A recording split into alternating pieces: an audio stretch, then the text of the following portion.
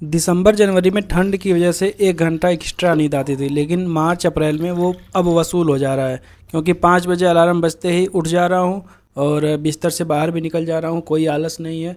तो सुबह सुबह अपना दिन की शुरुआत करते हैं गर्म पानी के साथ और अपना पहला सेशन स्टार्ट करते हैं, जिसमें मैं लगा रहा हूँ आज इन्वायरमेंट का P T three sixty five इसमें कई टॉपिक अभी रह गए हैं, उसे कंप्लीट करना है। तो पहला सेशन हमारा रहेगा छः बजे से लेके साढ़े सात बजे तक और बहुत सारे लोग कमेंट कर रहे थे, भैया ब्लॉग क्यों नहीं आ रहा है? इंस्टा पे भी मैसेज कर रहे थे। तो अभी पिछले कुछ दिनों से तबीयत ख़राब चल रही थी, क्योंकि फरवरी में भी बुखार अप डाउन हो रहे थे और मार्च में भी वही था सीन तो ये देखो मेरा है रिपोर्ट पंद्रह मार्च 2024 इसमें मैंने ब्लड टेस्ट कराया था, जिसमें सीबीसी और typhoid negative malaria negative Widal negative कुछ नहीं निकला। सीबीसी में निकला था ईएसआर करके है, जो उन्होंने डॉक्टर ने अपने मेडिकल टर्म में कुछ बोला था। फिफ्टी पॉइंट है, ज़ीरो से पंद्रह के बीच में होना चाहिए था, लेकिन ये बढ़ा हुआ है। तो उन्होंने अपनी दवाइयाँ दी हैं, बुखार की पिछले तीन दिनों से अब एकदम सही है। बाहर का खाना बंद करना है, जंक फ़ूड, फास्ट फ़ूड, ये बिल्कुल नहीं खाना, वैसे भी मैं खाता नहीं हूँ। और बोले हैं कि हरी सब्ज़ी खाओ, फ्रूट्स खाओ, और ये कुछ दिनों में ठीक हो जाएगा। फ़ूड पॉइजनिंग की वजह से ही हुआ था ये। फ़िलहाल सही है अब सब कुछ बैक टू दी नॉर्मल हो गया है। पढ़ाई भी नॉर्मल हो गई है, नहीं तो फिर दो तीन दिन तो मैं बेड पे ही था। लाइब्रेरी जाना बंद कर दिया था जिम बंद डाइट सब कुछ बंद। पढ़ाई भी हो ही नहीं पा रही थी। अभी सब कुछ सही चल रहा है, इसलिए मैंने सोचा ब्लॉग बना के अपडेट कर देता हूँ। आई थिंक 20-21 दिनों के बाद ही वीडियो आ रही है।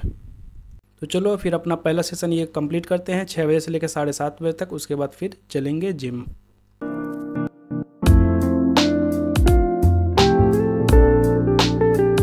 तो अभी साढ़े सात बज गया है, जिम जाने के लिए रेडी हो लेते हैं। प्री वर्कआउट हमारा रहेगा एक ब्लैक कॉफ़ी दो ब्राउन ब्रेड और थोड़ा सा इसमें पीनट बटर केला नहीं खाऊँगा क्योंकि रिस्क नहीं लेना है अब जुकाम बुखार का। और ये मैंने सी सेट वाली बुक ऑर्डर किया था अमेजोन से तो उसमें दिखा रहा था कि एक प्रोडक्ट और ऐड कर लो तो डिलीवरी फ्री हो जाएगी। तो मैंने ये पीनट बटर ऑर्डर कर लिया था, ये शुगर फ्री आ गया है। चलो कोई बात नहीं, ख़त्म हो जाएगा। जल्दी से प्री वर्कआउट अपना कंप्लीट करते हैं और निकलते हैं जिम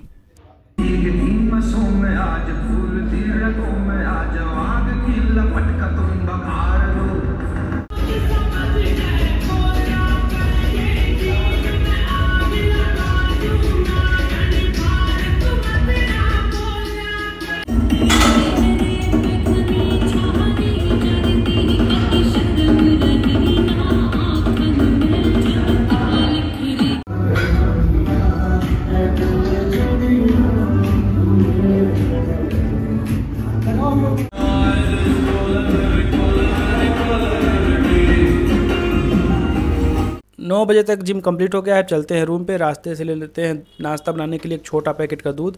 और आजकल मैं बना रहा हूँ हल्दी वाला दूध, थोड़ा सा उसमें बादाम डाल के। जुकाम बुखार में ना हल्दी वाला दूध फ़ायदा करता है। और साढ़े नौ बजे से लेकर दस बजे तक आधा घंटा में नाश्ता भी कर लिया और थोड़ा सा न्यूज़ भी देख लिया। आज की न्यूज़ में क्या है? साढ़े दस बजे तक नहा भी लिया था, अब जल्दी से रेडी हो लेते हैं क्योंकि ग्यारह बजे से हमें निकलना है लाइब्रेरी के लिए।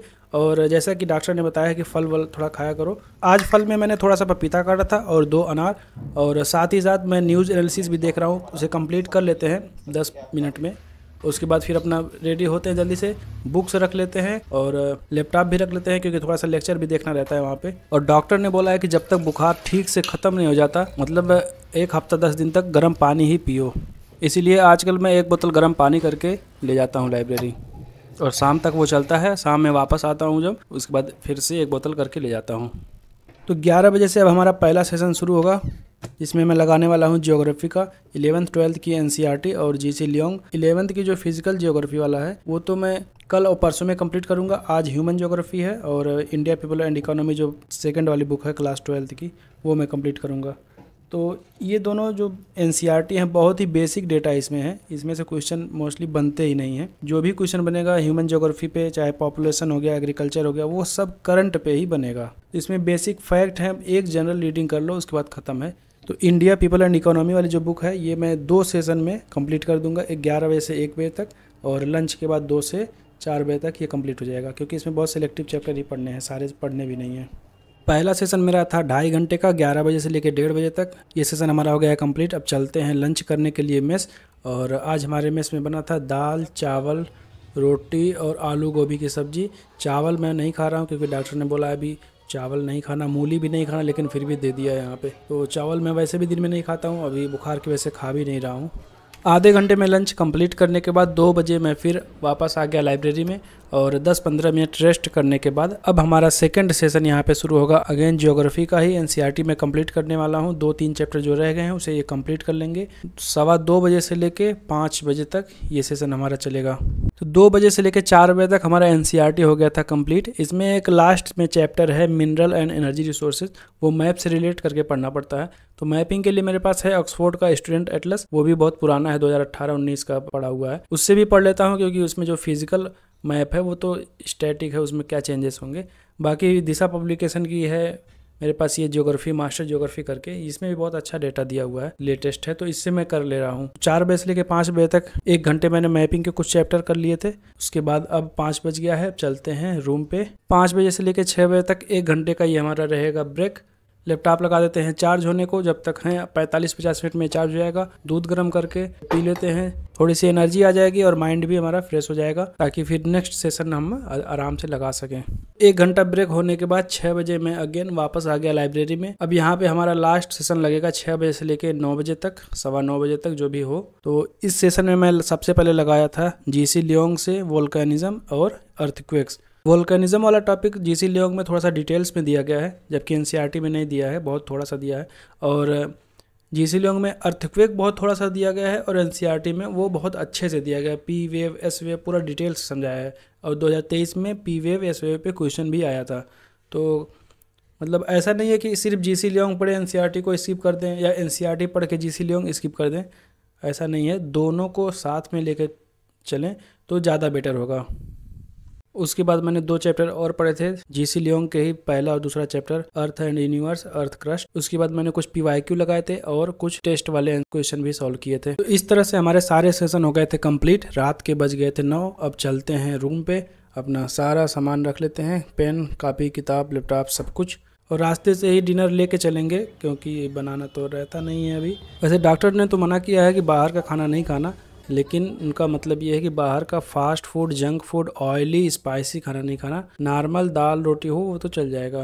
तो डिनर में मैं सिंपल दाल, तंदूरी रोटी लेकर आया था, थोड़ा सा इसमें डाल दिया घी। साढ़े नौ बजे तक डिनर भी कंप्लीट कर लिया था। आधे घंटे रेस्ट करने के बाद दस बजे से अब हमारा ये लास्ट सेशन रहेगा सी सेट का। सी सेट में कभी कभी दिन में भी लगा लेता हूँ और कभी कभी रात में लास्ट सेशन में लगाता हूँ। और ये हमारा रहेगा दस बजे से लेके ग्यारह, सवा ग्यारह, साढ़े ग्यारह तक। आज तो एक डेढ़ घंटे का ही है, वैसे तो मैं दिन में दो ढाई घंटे का रखता हूँ सेशन तो ये सेशन हम कंप्लीट कर लेते हैं और आज का ब्लॉग बस यहीं तक रखते हैं। आई होप आपको अच्छा लगा हो तो लाइक सब्सक्राइब कर लेना, बाकी अपना अपना सेहत का ख्याल रखो पढ़ाई लिखाई अच्छे से करो, ठीक है? नेक्स्ट वीडियो में मिलेंगे, तब तक के लिए बाय बाय